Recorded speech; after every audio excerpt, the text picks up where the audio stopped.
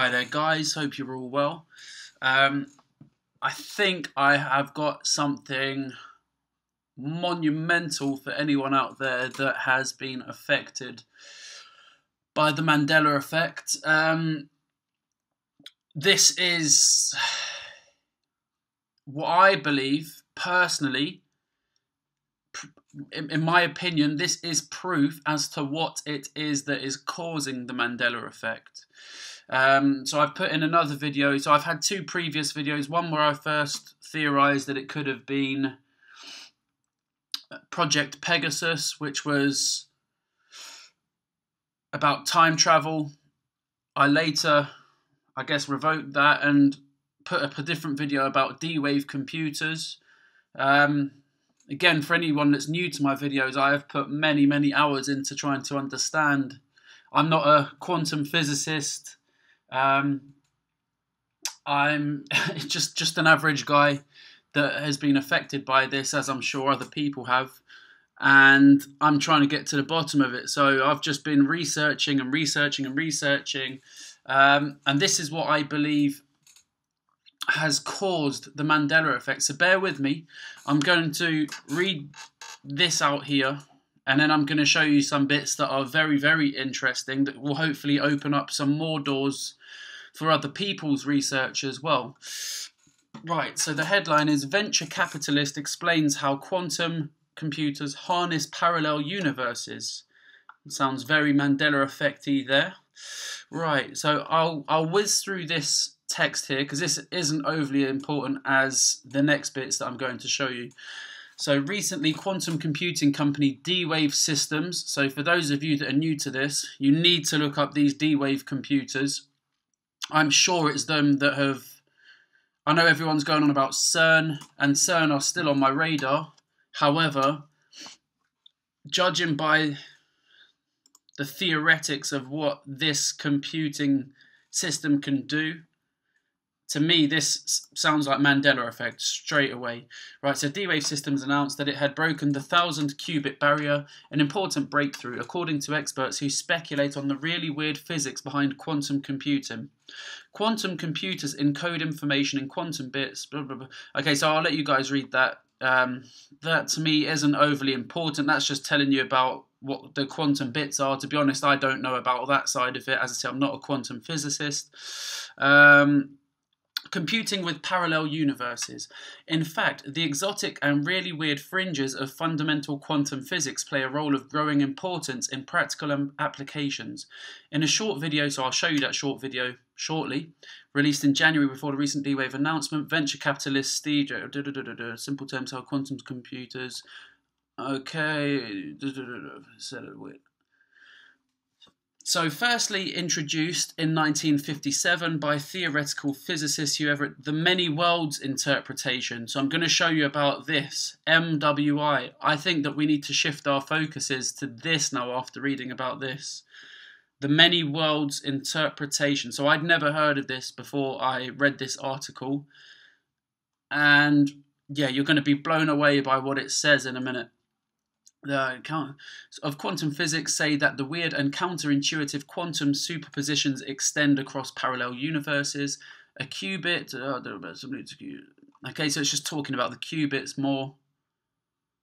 Okay, so what I'm going to do, I'll just go straight on to showing you the video. If you think computing is done, there's a really weird experiment going on in quantum computing, which uh, there are you know, five or six different efforts that think it's 10 years out, and this one group which says we're ready for prime time and scaling. This weird guy from Canada, Geordie Rose, and uh, Google bought the first one.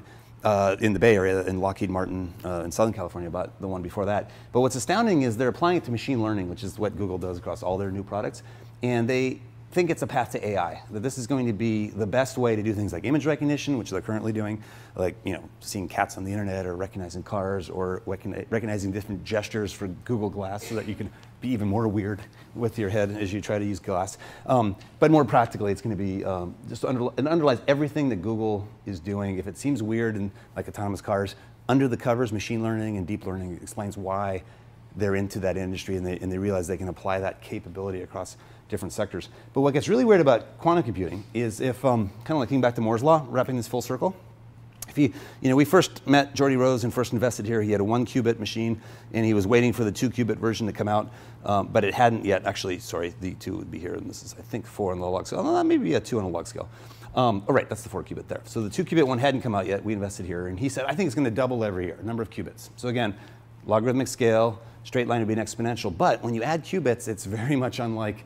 Um, uh, Moore's law on that other curve. This is like a Moore's law on top of a Moore's law. It's more like going from a 32-bit architecture in Intel to a 64-bit.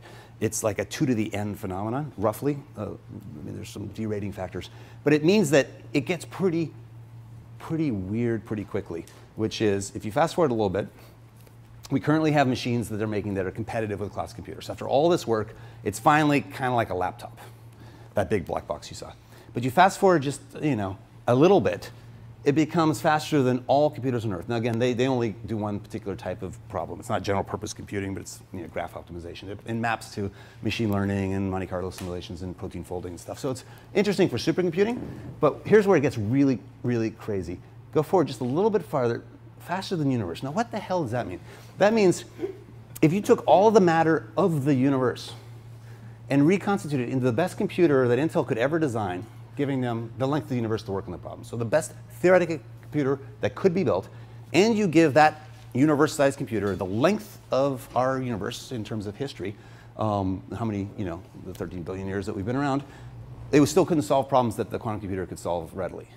That's mind-bending, and, and the only physics explanation for how it works, um, oh, there was that one for, oh, actually, was that, uh, oh yeah, it was just David Deutsch saying that summary.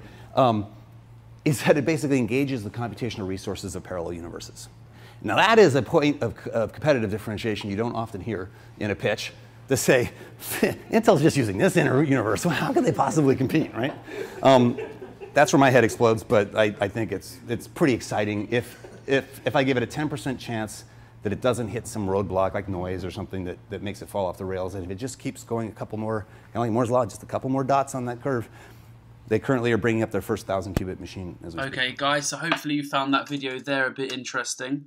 Um, so going on to the many worlds interpretation, this is what I find particularly interesting, and I'm going to do a lot more research on this. As I say, I've never heard of this prior to reading this article.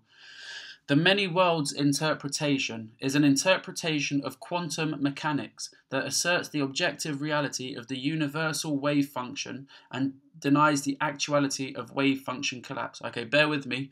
Uh, it's quite technical here, but they do break it down a bit. As I say, I'm not a quantum physicist. So, many worlds implies that all possible uh, alternate histories and futures are real, i.e., the JFK assassination. As I say, I've watched that video not even that long ago, a few months back. I can't remember for what reasons, but I happened to be watching that.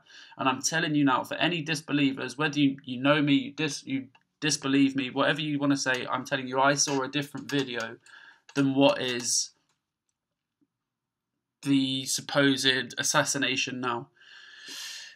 Okay, each representing an actual world or universe. So in layman's terms, so this was this is the bit that I like. So um, the hypothesis states there is a very large, perhaps infinite number of universes, and everything that could possibly have happened in our past, but did not, has occurred in the past of some other universe or universes.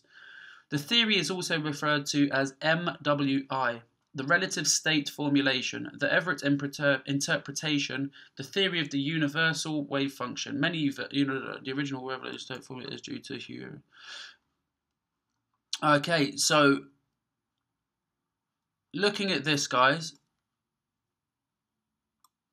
I'm going to do a lot more research on this MWI, many worlds interpretation. But for anyone that is new to this Mandela effect thing, hopefully, again, the reason why I'm putting this video up is to, for anyone that's trying to understand how this maybe happened, there's many people up on the internet or on YouTube showing examples of what's happened, which is great because that lends weight to it, but I feel like I have personally seen enough examples now to know that it's real I've experienced enough of my own examples to know that it's real. I now want to know the who, what, where, when, how, I, I want to know the reasons behind why this is happening. Um, again, I'm not discrediting anyone for putting examples up. I, I, keep up the good work. As I say, it's drawing more attention to this. Um, I just personally want to know why. Why is someone doing this? Why is this happening? Why are there changes in the Bible? Why why is there this? Why is there that? Um, but then once you know the whys, you've got to also understand the hows. How is it possible? Um, is is the technology available? Um, I think we've shown that the technology is theoretically available. Um, I'm gonna tr- so so what I would suggest as well because there's a lot of internet for me to trawl through. Um, so again, another reason why I'm putting this video up is effectively asking people as well if they know anything about this many worlds interpretation. Again, no time for any naysayers out there um, or any internet trolls or what are they called shills or whatever, or whatever the name is. Um, I'm taking my own time to, to help with this. As I say, I'm affected by it. I want to help other people that are affected by it. But I also think that we need to focus our attentions more on, as I say, who, what, where, when, how, why. Um, anyway, guys, hopefully someone's found this helpful out there. I'll try and make the video look a bit nicer. Um, it's a little bit all disjointed and all over the place at the moment. Um, yeah, that's all from me, guys. Thanks again, and uh, enjoy the rest of your day. Cheers. Bye.